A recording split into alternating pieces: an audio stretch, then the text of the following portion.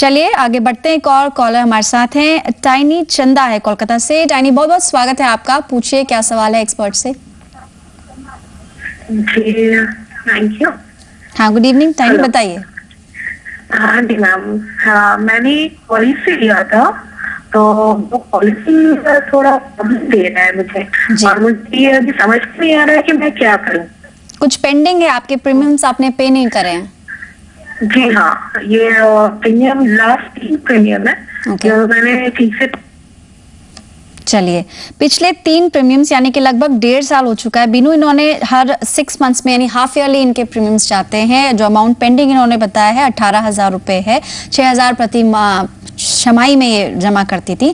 फ़िलहाल इनका सवाल ये है कि क्या इस बकाया रकम को चुकाना इनके लिए ठीक रहेगा या फिर ये अमाउंट जो एक्चुअली कैलकुलेट किया जाए तो one thousand rupees per month बन रहा है। इसे कोई एस करें तो ज़्यादा बेनिफिशियल रहेगा। इस पॉलिसी के बारे में आपकी क्या राय है, बिनू?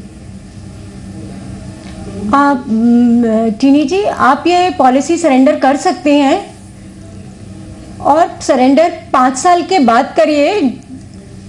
और ज, आ, आपका जो टाइम है वो सितंबर 2013 में कंप्लीट हो रहा है।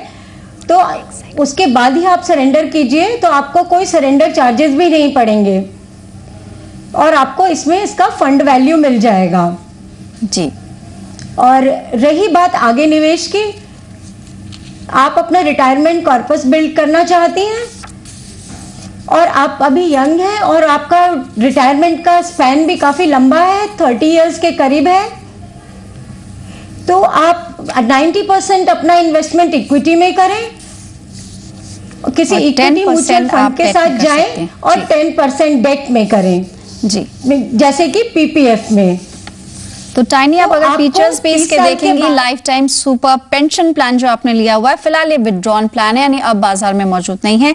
आपके वैसे भी सितंबर इस साल आपके पाँच साल पूरे हो रहे हैं आप इसको सरेंडर कर सकते हैं। टेबल के थ्रू भी आप देख सकती हैं कि इसमें अगर आप तीसरे साल में सरेंडर करते हैं 96 परसेंट और 98 परसेंट चौथे साल में और साथ ही पाँच साल कंप्लीट करने पे आपको 100 परसेंट सरेंडर वैल्यू मिलेगी। यानी फ़िलहाल जो भी आपकी फंड वैल्यू होगी उसके अकॉर्डिंग आपको चार्जेस मिल जाएँगे। फ़िलहाल ज़्यादा चार्जेस कटेंगे नहीं हैं आपके क्योंकि पाँच साल आपके पूरे हो चुके हैं। तो पिछले अमाउंट को आप इसमें निवेश करने से बेहतर है कि आप म्यूचुअल फंड की तरफ़ रुक करें, साथ ही कुछ हिस्सा पीपीएफ में भी निवेश कर सकती हैं। टैक्स सेविंग का भी उससे आपको फ़ायदा मिलेगा। चलिए, फ़िलहाल रुकेंगे एक ब्रेक के लिए।